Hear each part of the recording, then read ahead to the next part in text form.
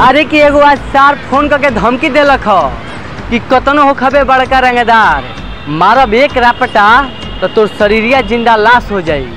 अरे क्या जे एगो सार फ़ोन करके धमकी देलक ह। कि कतनो हो खबे बड़का रंगदार।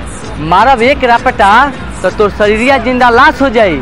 तो हमहू कह देनी ह कि थोड़ा धीरे।